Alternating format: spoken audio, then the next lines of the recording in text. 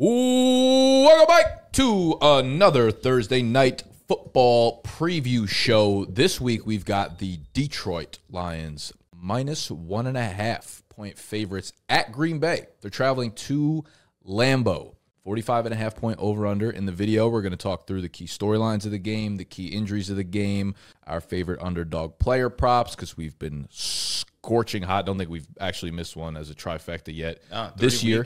Weeks. Uh, if you sign up with our code BDGE today, you will get a Jared Goff 0.5 total yard square, otherwise known as a free square, otherwise known as free money, otherwise known as funny money, otherwise known as I I got don't know no other nicknames. I- Just fucking sign up. Just just do the right thing. Just do the right thing for your children. Let's let's talk about the weather. I haven't I haven't even It's checked the weather on this here. one. Oh, I meant in the game. If it's shit here, it's probably shit there. Uh, It's going to be 60 degrees and clear. No weather concerns. let's move past the weather. Uh, let's talk about some of the key injuries. So apparently, David Montgomery and Taylor Decker. Dan Campbell's optimistic that they're going to play in this one. Josh Reynolds was apparently active last week. He had a groin injury. He ended up with zero targets, zero catches after starting kind of hot. So not really sure what's going on with the uh, wide receiver two situation there in Detroit. Regardless, getting Demont and Taylor Decker back probably a little bit more important than Josh Reynolds, whether or not he's running routes out there. Green Bay Packers still up in the air. Do we have any official word? We filmed this Wednesday night. It's 5:42 p.m., so we probably won't really know whether or not Aaron Jones and Christian Watson are active until a couple hours before kickoff. The vibes feel pretty good there on Green Bay, right? They feel all right. for. Jones. It- I was gonna say it feels much better for Jones. I would say if I had to put a percentage of it, I think Jones is like eighty percent will play. Christian Watson kind of still feels like 50-50. Watson's got it. You got to lock it up. He's got to dial in. He's got sure. to. He's. I mean, how many weeks is this hamstring going to be ailing this man before? You know, um, got to be frustrating if you're a Christian Watson owner. Uh, but Aaron Jones getting back is is really uh, fantastic news. Obviously, David Bakhtiari's apparently supposed to be playing. Uh, Jaire Alexander back also randomly missed last week's game with a back injury, but he's supposed to be um, back in the lineup as well. So they're borderline full strength, at least most of the skill players that people are worried about. Now, general storylines for the game. This is like a really good game. I, I'm, I feel like this is gonna be a fun game to watch. Yeah, this is for the North. It feels like this is a two horse race at this point. Like the Bears feel out of it. Vikings, you start 0 3. That's tough to come back from. Vikings And are lucky. The Vikings are lucky that the Bears are so bad they are. because you, you want to say that they're in like different tiers entirely, and they obviously are, but like they're both oh on three. Yeah. Records don't lie, numbers don't lie. Numbers never did. This could show like is Jordan Love like officially like that top 15? Is he top 12? Like how good is he? We all know he's gotten over the bust allegations and whether or not he was worth it, but just how good is he? That was my number one uh, storyline point of the game was like Jordan Love. He's been playing great. This this feels like a kind of like a not a make or break game, obviously, but it, it'll tell us a lot about whether or not he's like really cemented himself as the guy that we think he is up to this point. Green Bay's been wildly efficient so far. They've been at less than full strength. Obviously, they've missed Aaron Jones and Christian Watson for most of the year. But I was looking up some numbers. Both offenses are top 12 in scoring right now. So you'd think we've got some, you know, some good players, some some talents, some powerhouse football being played. Uh, Green Bay has converted 78% of their red zone trips into touchdowns. Only Miami has a higher rate. They are fourth in points per play, super efficient, um, tied for first in giveaways per game in a good way. So like Jordan Love is pretty much protecting the ball. They are protecting the ball as an offense, and I think maybe that's why like Vegas might be saying like, oh, this might be a game where Jordan Love kind of like drops back down to the median or something. It's because they've played with very few mistakes and played so efficient that the numbers might come back down. I think that's the only reason why. Like too good to be true. yeah, like too good to be true. It's just like on a Like too good to be true. I would agree in that sense. It was like 17 point comeback in the fourth quarter. Like that doesn't happen on accident. Don't get me wrong, I'm a believer. Like I think Love is very good. And I, I will say, like, I don't even know if you were with me on, but like, I was panicking in that game. I was like, damn, they really beat the Bears. Now they're down 17 0 to the Saints. Like, Hmm. I was kind of like, ah, fuck. No, I mean the Saints are like a, a great a great defense. Defense. for the most part. And and again, like it's it's so hard to judge Jordan Love with No Watson. the skill set. I mean the skill yeah, the skill players that he's playing with. It, it'd be like Sam Howell, right, has been doing it at full strength for a bunch of games. But it would be like judging him if J- Jahan Dotson and Terry McLaurin, all those guys were out. It's like, of course, you can't really like get a feel for whether or not he's a good quarterback until he's at full strength. Um, and I think something you brought up last week maybe was like Matt Lafleur being a good coach. Yeah, he might actually be good. He might be kind of nice. I think he was, or he was seen as like an overrated guy. You have Aaron Rodgers. Like it's hard to get respect in that sense, but you know, Aaron Rodgers is gone. Their offense is clicking, and um, you know, he's he's a guy who came from the McVay Shanahan tree, and we've seen a lot of success with those guys. So Brandon Staley very successful McVay. I don't even okay, but No, like I agree, He I wasn't agree. really from the McVay tree, but you know, offensive the offensive guys. Well, it's like getting well. out from the Aaron Rodgers grip, and like Yeah. obviously, obviously, like Rodgers is a great fucking player, whatever, bunch of MVPs, whatever. But I, it does like stifle the offense a little It's bit, his way or the highway. Like, right? It stifles the other players because they're probably so like just caught up in I don't want to make a mistake, I have to play this way, and like no one gets to really be flexible with, it, especially like Matt Lafleur. So I think in a way this opens things up, you know, and, and can have a ceiling in an offense that we don't really think about because we've never really seen these players get to like play freely. Yeah, I think it was like a, a year ago or something. I saw in like a trivia game, Matt Lafleur had the best like winning percentage of a head coach, and that was like, okay, that's kind of a trick question. Like his, his first year, he got to Green Yeah. Bay, weren't they like Yeah. thirteen and three or something? yeah, he was just ripping off 13 win seasons, and you gave him like zero credit for it. And maybe he didn't deserve it then, but I don't know. Matt Lafleur's cooking. I like him. I I like him yeah, a I got coach. good vibes out of Green Bay. I got Yeah. good vibes out of Detroit too. Like this, this is why this game is going to be kind of fun. Green Bay's like defense. Like that's we really don't talk. Like it's good. It's it's good. Yeah, it, it, it's pretty good. Rashan Gary had a three sack game Yeah. last week. Rashan Gary's like a such a problem for offensive line. I think him versus uh, Penei Sewell is going to be a really cool matchup. I think there's a lot of like individual matchups kind of going on here because Detroit has a very high graded pass blocking grade. They're number six per PFF. Rashan Gary coming off the three sack game. Green Bay actually has the number three ranked pass blocking grade offensive line. Detroit's becoming quickly becoming a very good defensive line, aided by Aidan Hutchinson coming off his first two sack game. So like, there's a lot of you know underlying things, which is what's going to make this game so fun. Um, from like a fantasy perspective, Aaron Jones is likely back. He's Demont, on- we don't know. Jones though, it's like I think it's like uh, still RB one range. I have him as like RB eight 100%. on the week. If he's active, he's he's in your lineup for sure. Like even ninety percent of Aaron Jones is an RB one. Like it- Uh, yeah. our sample size is so small, but it's like if you had to go off one game, you want it to be when he's was able to be RB one. Like you want positive at more than him having a bad one game. You're hoping he's not that. no, Jones Jones will be fine. Uh, But Detroit though, like Yeah. I, I if Monty's out, I'm still gonna give Gibbs one more shot. I think he's RB one. I mean, I think the work is still gonna go to him. He disappointed against Mm. Atlanta bad. you're gonna give him, you're gonna rank him RB nine. Yeah. I just I feel like um I still believe in him as a player. Like no no no me, me too me too. He feels like he struggled on the goal line, and in that red zone offense, like I agree, but I, I do think could they come up with a way could he catch one and run one in? Yeah, but I, don't And you feel like we're just done. like keep, we keep kind of like rolling the dice on, on that with Gibbs on a week to week basis? Like eventually we'll hit jackpot, but is this just D'Andre Swift all over again? I don't. he's due I would agree permanently due. if Monty was here and I was still ranking him high, but I think without Monty, I, I, I got to give him one more. Yeah. like that Atlanta game just wasn't pretty in general. He had we had 18 carries last game. Yeah, that was his most. 18 carries, kind of weird though. He had two targets, right? You thought he'd be a little bit more involved with Josh Reynolds banged up, and we thought Amon He Ra was got stuffed a few times. Yeah, so he funny. did. He's just not there. Like they cle they told us they wanted to use Demont, Demont in Yeah. those situations. You could tell like they missed Demont. Like they wanted to use him there. Mm-hmm. I don't know if it necessarily concerns people. Like he had nine targets a game before.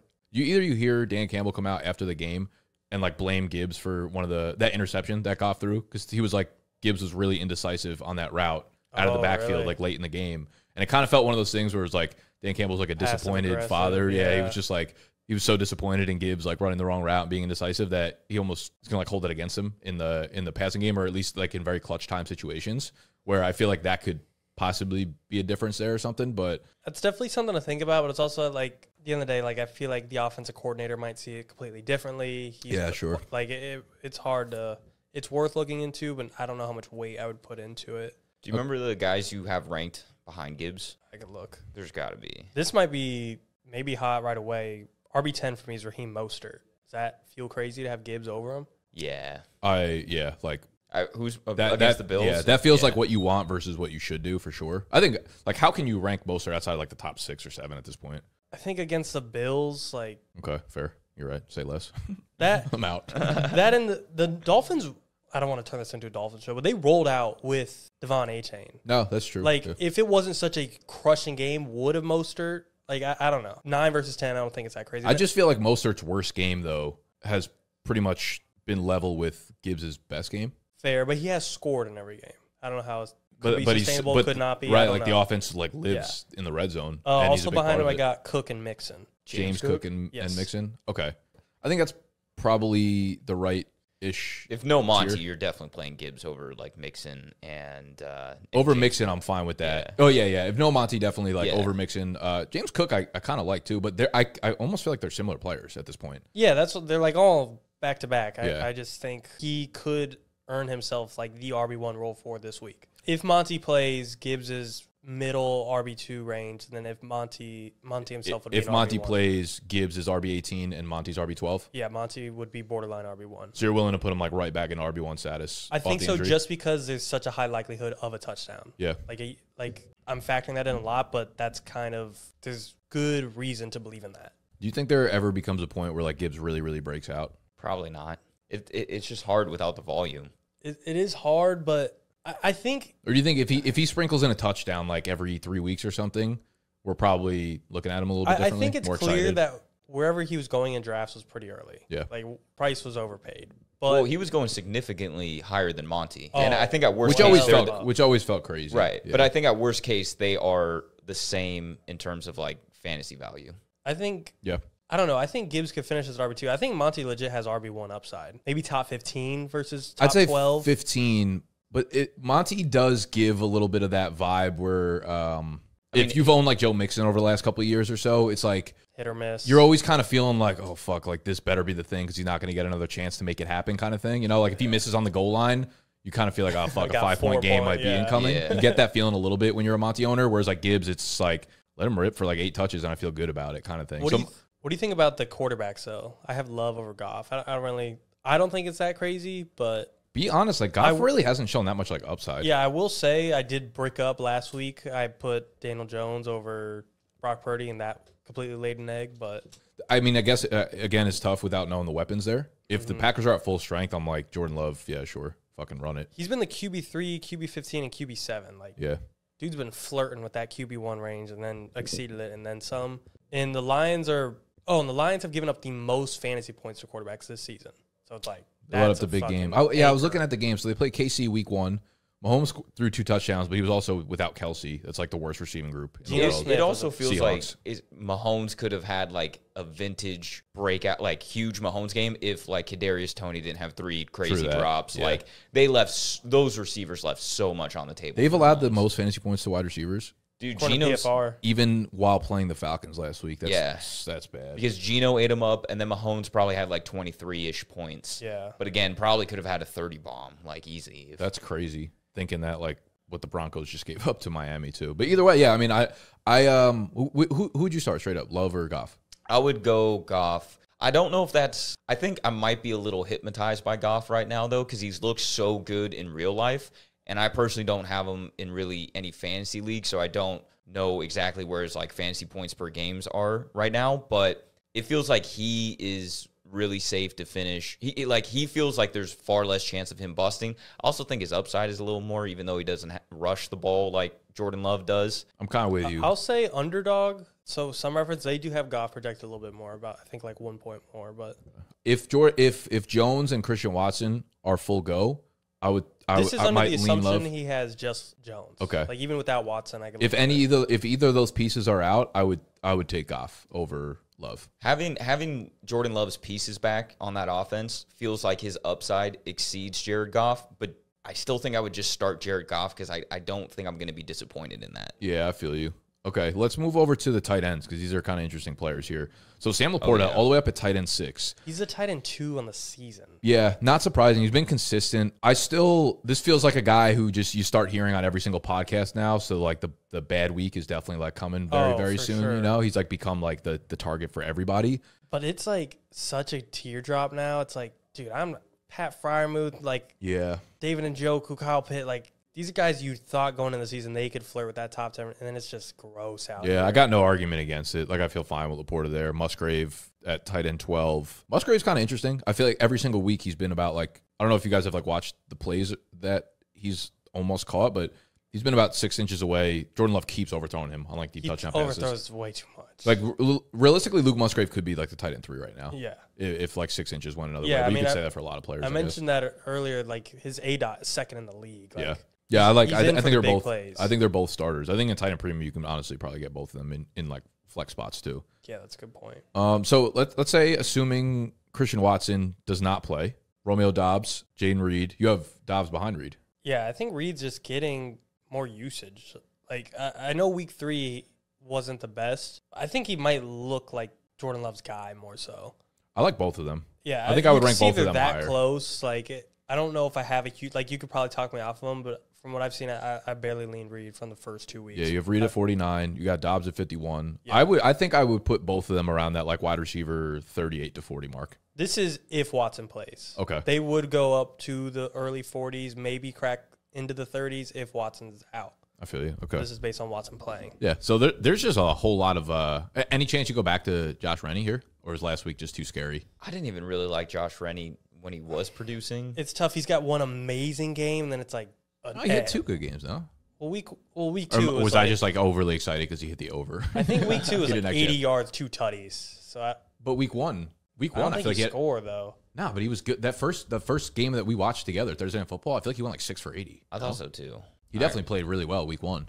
I gotta check Josh. I, I'm not saying he played. I think just week two is just like 20. Sure, Plus but I'm not point game. right.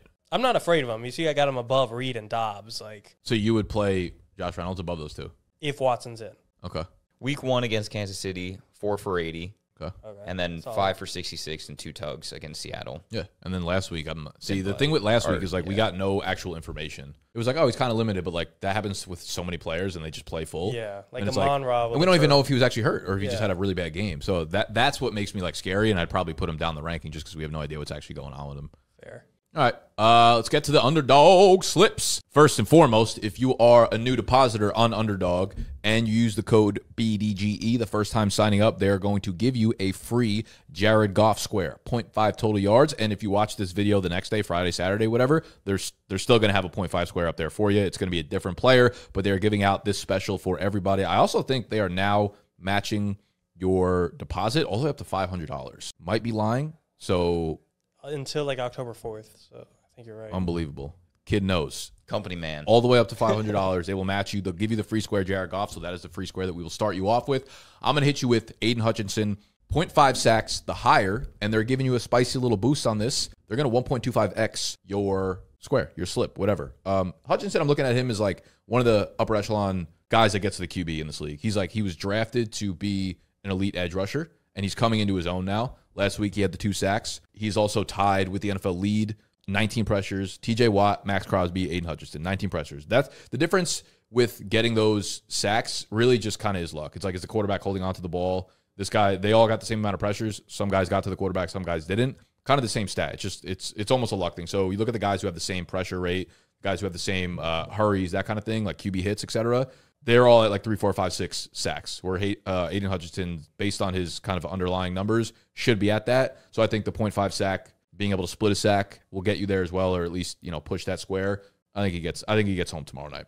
I like it. Let's cook. It's always a little feels a little risky, but it, it's kind of like what you said with like uh, a Derrick Henry rushing touchdown. Like he's always kind of good for one, Mm-hmm. no matter what the game is. I mean, what do you do? You have a projection of what he ends up in the year in terms of Aidan Hutchinson, Hutchinson, sacks? uh, I'd probably put him around like the 10 mark, 10, 11. Okay, I thought you'd go higher, honestly, but I don't like. I feel like shooting higher than that's kind of like almost unrealistic. that's fair. You know, but he's, fair. he, we're three games in. He's got two sacks, but he's got so many fucking hurries that like, Yeah, i- i- At this point, he could have been at two, but he also could have been at like five. Had he been at five at this point, then I would have been like, all right, maybe like fourteen or something like that. But I'll keep it. the only keep it point I was trying to make is he, he could be, he could be a guy who averages a sack a game. Right.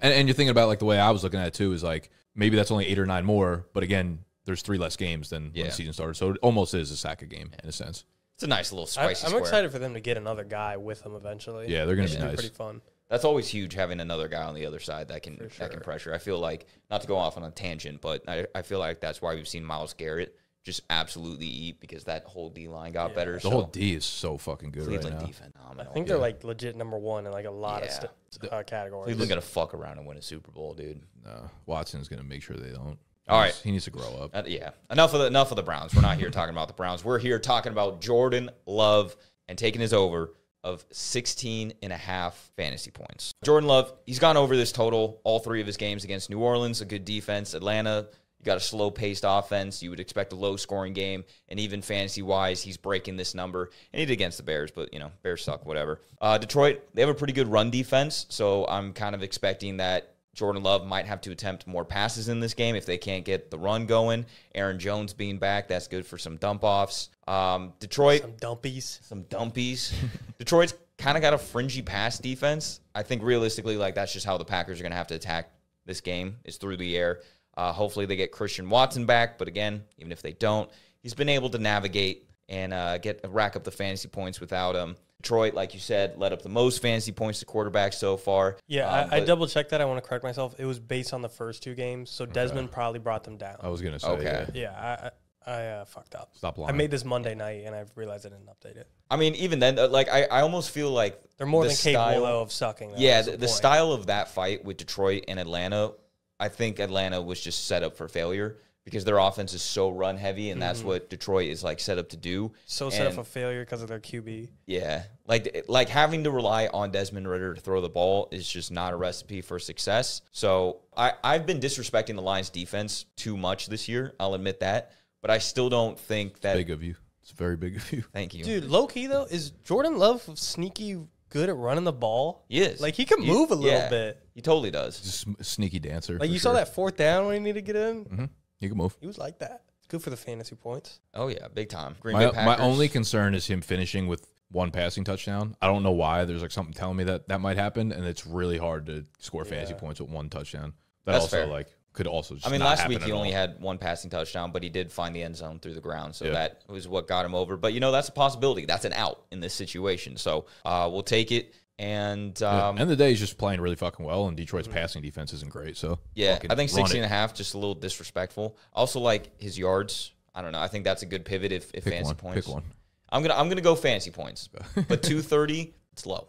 I'm just saying it's low. I'm just saying. Just throwing it out there. All right, I got Luke Musgrave to go over 35 and a half receiving yards. I wanted to take his fantasy points, but I didn't have that lineup, so yards is the best we got. He's gotten this in two of his three games. He has the second best, second highest aDOT in the NFL, only behind Kyle Pitts. If the dude the dude gets the ball, he's cooking, he's going deep. They want him in big plays, and Detroit gives up the second most fantasy points to tight ends this so far through the season through three games. Again, Just crazy because game one was Kelce list too. uh, yeah, which Noah Gray cooked though, or no, it was Blake Bell. Blake Bell. They did like fine, but I'm saying like the fact that they're still worst and Mm-hmm. didn't have to play Kelce, like and fantasy points don't always correlate to receiving yards. Like you could just get a touchdown and that would boost up his points and not his yards. But if there's a fantasy line, I like it, but that's not what we have right now. Give me the yards. This is kind of correlated with Jordan Love. I'm in on the Packers offense on Thursday night football. But that's that's kind of crazy. You said they've given up the second most fantasy points Two tight ends. to tight ends, meaning